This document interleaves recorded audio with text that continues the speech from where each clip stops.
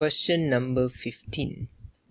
Complete the values of y in table 1. So they want us to draw this graph. So we have to finish, uh, complete the table first. So I've already done the calculation for you all. So I'm just going to write here. Make sure when you calculate, okay, so we have to rearrange this, uh, by the way. So y equals uh, 1 minus 3 sine 3 over 2. Okay, so this is your equation. Substitute all this x value oh wait x into here and then you calculate see what you get for your y value. So make sure your calculator format is in radian uh, because all these are in radian form. Okay so you will get your answer 1 negative 1.12 negative 2 negative 1.12 1 3.12 4 uh, sorry 3.12 1 negative 1.12 negative 2 negative 1.12 and 1 okay so finish the table. Question b okay they want you to plot the graph. So they use the graph paper is provided. Okay so the scale given is 3 cm pi over 3 that's for the x-axis. 2 cm 1 unit for the y-axis. Okay so we're going to attempt to do that. Okay so I've already plotted the points for you. So just make sure before you do right make sure your scale is correct. So the x-axis the scale they said they are using is every 3 cm uh, pi over 3 units. So 3 cm is 15 boxes huh? so here to here is 15 boxes. So yeah pi over 3 2 pi over 3 then pi 4 over 4 pi over 3 5 pi over 3 and then 2 pi. And then the scale for y-axis they said every 2 cm is 1 unit. So make sure 2 cm 1 unit 2 cm 1 unit. Okay? So once you have plotted that then you can plot the points then you can draw. Okay this is just uh, I'm gonna just roughly draw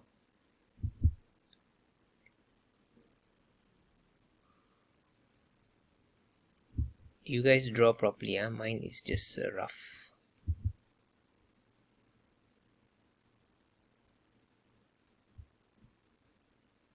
Okay.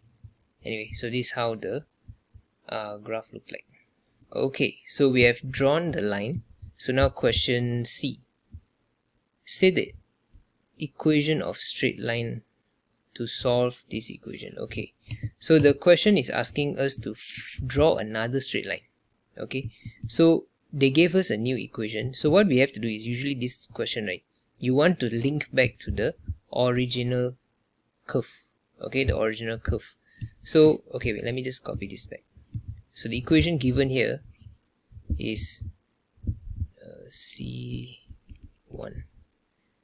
3 sine 3 over 2x equals 4x over pi minus 2 so you notice that you got the 3 sine 3 over 2x which is quite similar to our this one here the original one but this one is negative lah okay so what we can do is that we can um, let's say we add a negative huh? so times negative so when you times negative the whole equation times negative 1 you get negative 3 sine 3 over 2x equals so now negative will become 2 minus 4x over pi.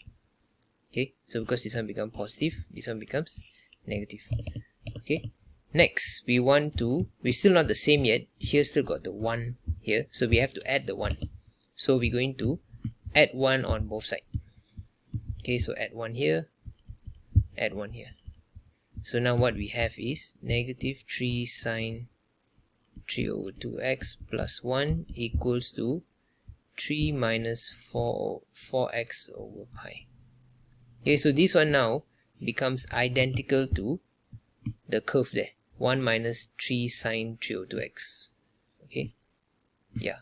So if I write the 1 in front it becomes the same lah. So it looks like this. 1 minus.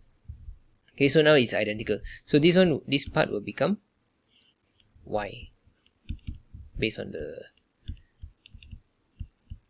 based on the equation up there okay y equals to 1 minus 3 3 sine 302x so now you get this line. So this line is the equation of the straight line okay so this is the answer already. They just ask you to find the equation.